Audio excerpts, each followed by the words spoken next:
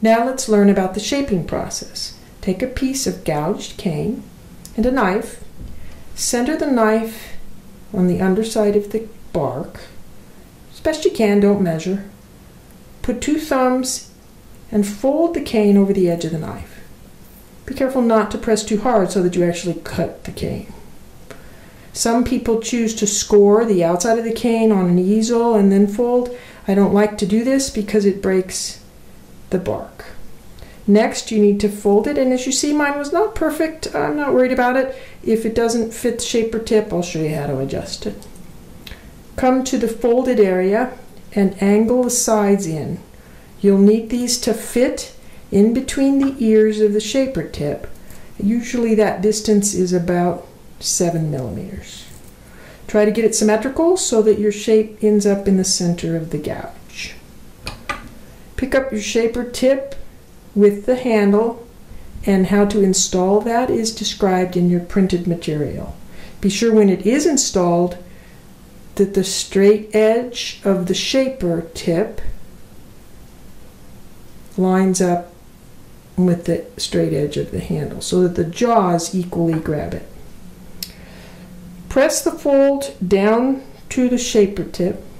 Some people prefer to leave it several millimeters away from the end. I put it directly on it.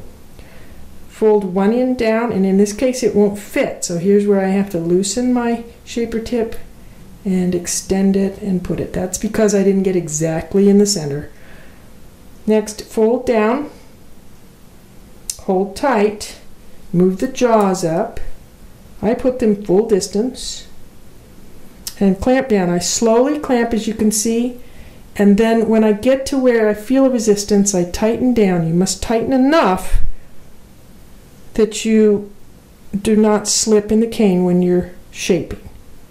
Some jaws come quite a bit lower than others. It's personal opinion whether you feel that's an important aspect of your shaper tip handle. Go ahead and make choices according to your decision. Next, I will open my razor blade. And I take the back end of the handle and firmly place it into my belly. Then I choose to squeeze very hard at the tip here. And I'm not squeezing the normal way you would think like that because as I shape, I'm going to chop off my fingers. So it's a little awkward. You have to squeeze out here in an odd position but it's it's the squeezing is important to put the cane flat on the arc of the shaper tip. So you're going to press firmly. You're going to angle, and I'll show you uh, from a side edge the angle I'm using. When I shape, I never scoop. Never come in and scoop. Don't go up into the curl of the ears, scoop around and follow. It, it draws the cane away from the shaper tip and gives you a different result. So choose your angle, stay there, and jab in and pull. You notice when I hold the razor blade, I hold a tip here and middle finger and thumb on the other edge. So there's a tunnel there. See the tunnel? That's so the split of cane goes through the tunnel instead of through my finger. Okay?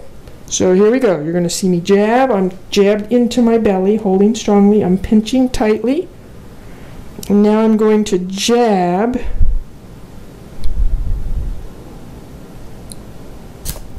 There the piece of cane went through. Then I clean up a little and do it a few times.